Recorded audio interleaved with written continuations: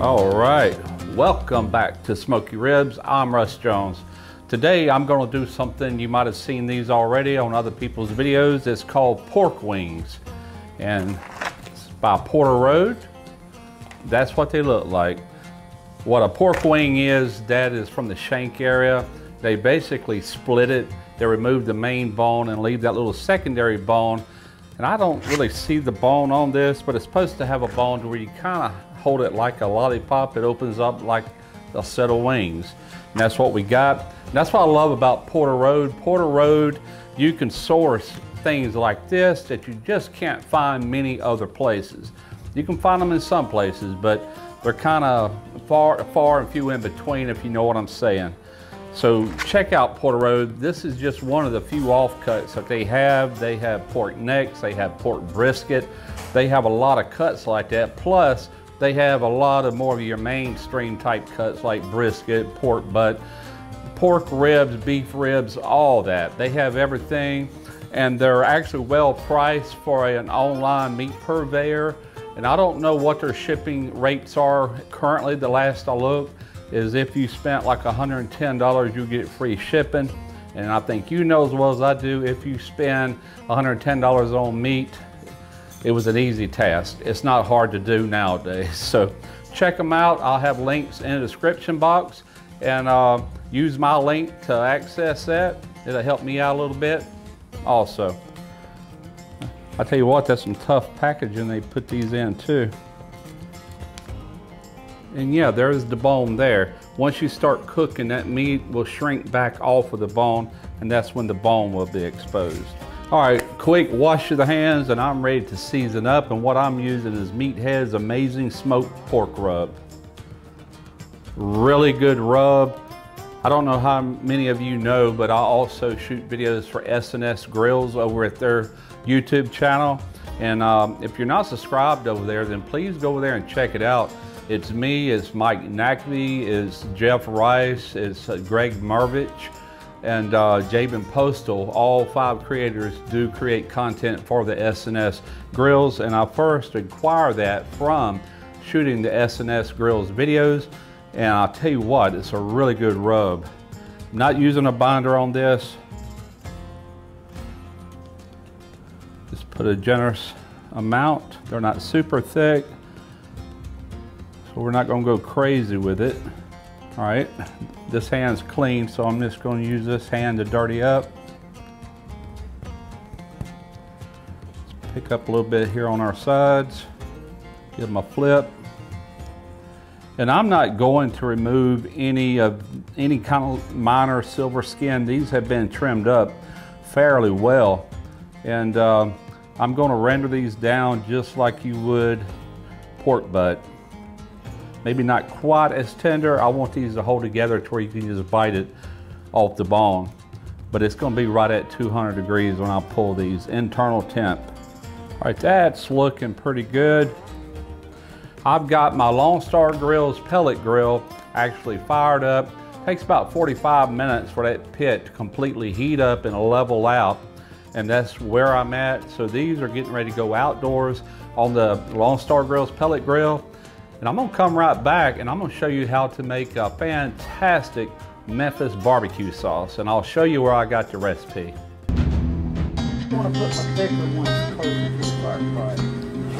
Yeah, that makes sense. He's putting the thick ones to the fire pot.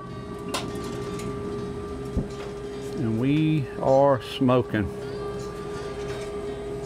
Now he dropped temperature when he opened this, but uh, we're running around 250 degrees.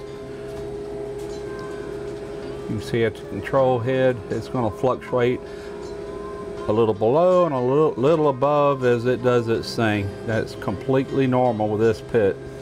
The barbecue sauce that I'm making, the proper name or what it's called in this book right here is Memphis Mop Barbecue Sauce. It's not a mop, it's not real thin, it is a thick barbecue sauce, but they call it Memphis Mop Barbecue Sauce. And I got it from this book from Ray Sheehan barbecue sauces and how to use them. I get a barbecue newsletter uh, delivered once a month and I've seen this inside of that newsletter and this is the same company that you've probably heard of this. This is the same guy that come out with the Buddha barbecue sauce. By the way, I'm not being sponsored by this company. I bought and paid for this book.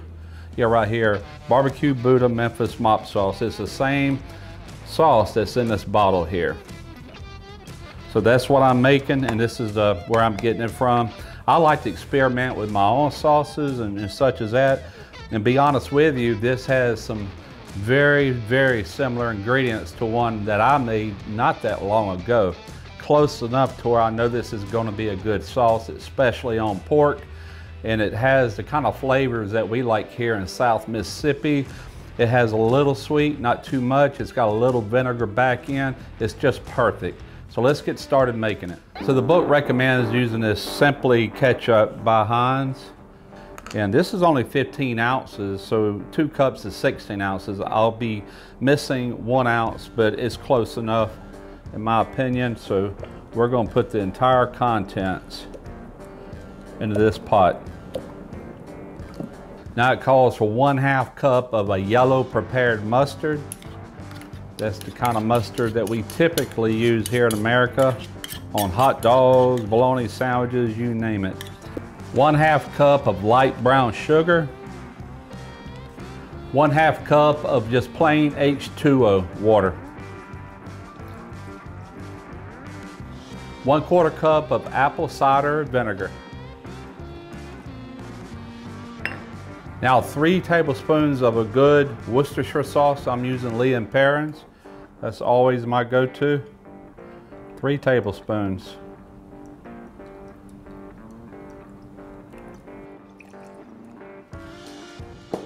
calls for one tablespoon of onion powder. It seems a little heavy to me, but that's what it says. By the way, I haven't made this from the book yet, so I hope it's good.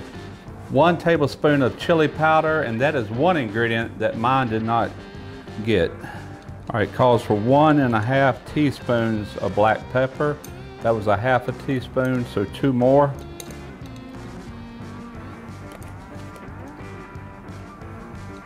I hope the company doesn't mind me giving out a recipe out of their book. They probably want you to buy it, but just so you know, there is a lot of different sauces in this book. Very well the price they're asking. And once again, I'm not being sponsored. I bought and paid for this. As far as I know, they don't know me from Adam. Two teaspoons of granulated garlic. I would suppose you could use a garlic powder as well. They're so similar. Once again, an ingredient that I did not use, and this is actually like a secret ingredient, not only on a sauce, but on a rub. It can actually uh, help in like the smoke ring if you're using it in a rub, but it's celery salt. It's kind of powerful, so you don't want to use much of it. Half a teaspoon. And a half teaspoon, I'm using a kosher salt. One last ingredient, I want to talk about this. It says one tablespoon of natural hickory liquid smoke. Now I know that almost anybody, I'm not going to show the brand, I don't want to get sued, but if the bottle looks familiar, that's liquid smoke that you'll find just about in any supermarket, any store. But the only problem with this liquid smoke is, it's not real liquid smoke. If it's got more than one ingredient, which is a liquid smoke. It's not liquid smoke. It's actually got, I'm trying to find out where it's at in here. It actually says, the ingredient says water, hickory smoke, flavor, vinegar, molasses, caramel color. That is not real liquid smoke. That uh, What they're referring to is a natural hickory smoke. So this is a natural hickory smoke. This entire bottle is nothing but a condensed smoke. And what they do is they take a green hickory and they distill it, similar to what you would distill to make whiskey from the green smoke. And this is, it, it's talks all about it. There is no other ingredients. This is what they're talking about. And this is a very potent and highly condensed liquid here. So you want to use it carefully. If you overpower it, it will not taste good. It would, it would just simply be overpowering. But that's true with smoke in general. It gives it a bitter taste, right? So it calls, and let me double check, one tablespoon of this. That's all, one tablespoon. And you're gonna be hard pressed to find any barbecue sauce anywhere that doesn't have that. All natural, completely natural. So I'm gonna give all this a really good mix. We're gonna put it on a stove top and it says to go 25 minutes at a low simmer, just kind of bring all these flavors together. From there, we'll pour it into a container, go in the fridge and let, let it hang out. I predict it's gonna be probably five to six hours on these pork wings. And uh, towards the end, we'll sauce them up with that, plus we'll have some sauce on the side. All right, these pork wings, hey, they're ready to start spritzing. All I have in here is water, and that's all we're gonna spritz with today.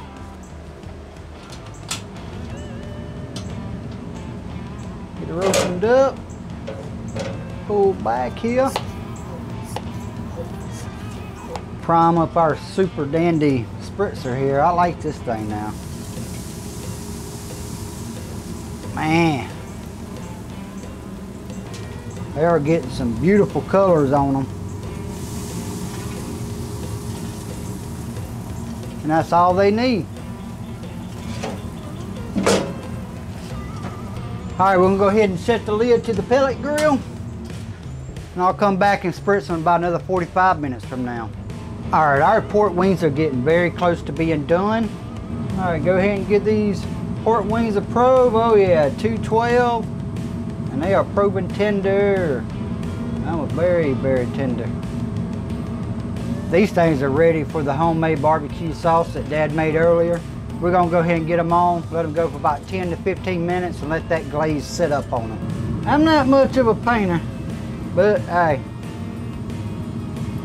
Get her done anyway. Gonna flip them over here. Nice bark on there. It is, that's pretty color. I cannot wait to bite into one of these. All right, we're gonna let her go for about another 10 to 15 minutes. Just give that sauce time to set. Once that's done, we're gonna pull them and give you a taste test. Well, we are done this time to give it a taste. You ready to try this, Derek? Man, You know, normally you would just pick this up and just eat it like a chicken wing, but I think that we're just gonna cut some off and try it. What do you think? That'll work. There's a lot of mouths around here wanting to eat on some of it. Yeah. Well, that looks like a good start right there. Look at there, we got a nice little smoke ring. That's a nice smoke ring. Don't know if you can see that or not. Little nugget there. All right, let's give it a try.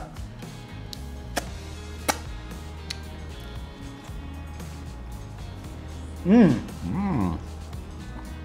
Oh man. That Lone Star's pellet smoker, I'm telling y'all, it's unlike any other pellet grill I've ever used. That Joker is the real deal. It's got plenty of smoke on it. And that's what they call an off cut. It's from the shank. So to me, some of those cuts have the best flavor of any part of the pork. It just does. I'll be honest with you. It's, I mean, it's fantastic. Super tender. But I've gotten some pork neck about a year ago from Porter Road's, and that's what it reminds me of, a lot of that pork neck. What do you think about that sauce, Memphis sauce? Dude, that sauce is killer. It is, ain't it? I'll tell you what else that sauce goes good on, because I did it not long ago, not with that sauce, but one very similar that I made and that's chicken. Just plain up barbecue chicken. Get out of here, fly. One more. Y'all don't forget, you can source this out through Porter Road. Just go to their website and you'll have pork wings. Hope y'all enjoyed this video. I'm Russ Jones. I'm Derek Jones. We are Smoky Ribs Barbecue.